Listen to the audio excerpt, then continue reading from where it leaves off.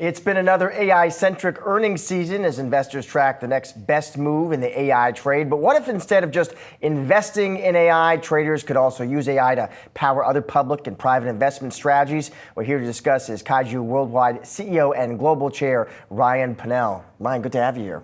Thanks. Thanks for having me back, and it's nice to be here in person this time. So, so Ryan, let me ask you, maybe just to start, your focus is predictive AI. Correct. Right, as, as opposed to Gen AI, which we spend a lot of time talking about in this show, right? And all kinds of companies spending a lot of time, money, and effort there. Maybe start there, Ryan. Explain to viewers kind of the differences between the two, and then how Kaiju is, is really integrating that tech.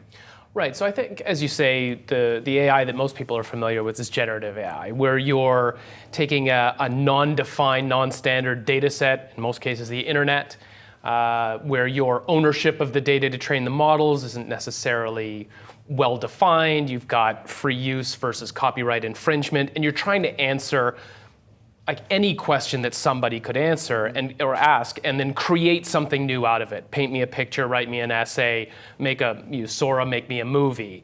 And you get problems with hallucination that come with that. I mean no question it's a very powerful technology with a bright future. Predictive ai is using either easily purchased or collected at source data. For us, price, time, and quantity, for example. And it's trying to answer a specific question. So in our case, it's trying to identify patterns in price, time, and quantity that immediately precede a price action that we want to take advantage of. And we see this over and over again, and there's a reasonable amount of certainty, and we can use it to, to that end. Mm. And so basically it's all it's not fundamental analysis at all. It is just based on so it's effectively predictive AI based on technical analysis to some extent. If You want to share the, the secret sauce, Ryan? Yeah, yeah, yeah, I, I, knew that was coming. Um, if you think about it, every positive investment decision results in a transaction. Right? It doesn't matter what the asset class is, you know, real estate, derivatives, equities, options. You know, you do your analysis, whether it's fundamental, technical, there's an investment committee, and at the end of the day, if it's go ahead, you're going to affect a transaction and we can see the pattern in the transaction. Not always, but for specific transactions, you can, with some degree of certainty, reverse engineer the investment decision that resulted in the transaction. Mm. Example would be, you know, if you're watching rotation versus distribution, they're very different intentions, and so they're very different patterns. Panic looks different you know, buying quietly because there's you have some certainty there's going to be a positive earnings and you don't want to disturb price versus buying indiscriminately because you think in five years this stock is going to be more positive, different patterns, different outcomes. If you can identify them, then you can predate on them. Mm. I'm, I'm interested, so, you know, it's interesting, right? You, so you found some tasks where you think, okay, predictive AI in my world, investing makes sense. Are there ones where you think, you know what, this tech, this tech is not up to that task? Ones you wouldn't want to see it applied to? Yeah, sure, absolutely. Obviously, anything with a long-term time frame, I don't care if it's human or machine.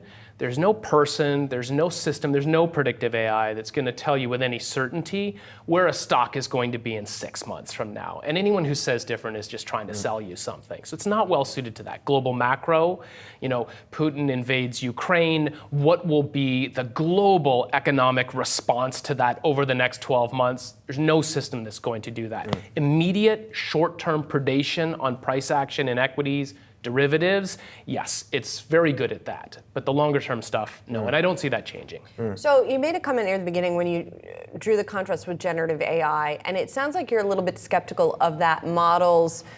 The, the way that it collects information or its ownership or lack thereof of the data it corrects. So I'm curious your view on whether you think there should be rules around those kinds of things when it comes to generative AI. Well, I mean, that's a, it's a big question to ask and answer. In terms of the capacity to potentially answer any question that you might ask, no, it, it needs to have this latitude. These the large language models are enormous and obviously incredibly costly to run because you can't determine what someone's going to need, require, or want to review. It can be information collection, it can be creation. So you're going to have to allow it a lot of latitude. With predictive AI, whether it's flying a plane or driving a boat or trading stock, you needed to do one specific task with a high degree of certainty.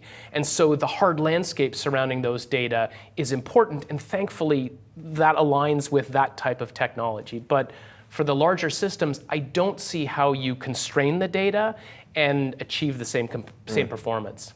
Ryan, thanks for coming in. It's good My to see pleasure. you. Thank you. Appreciate it.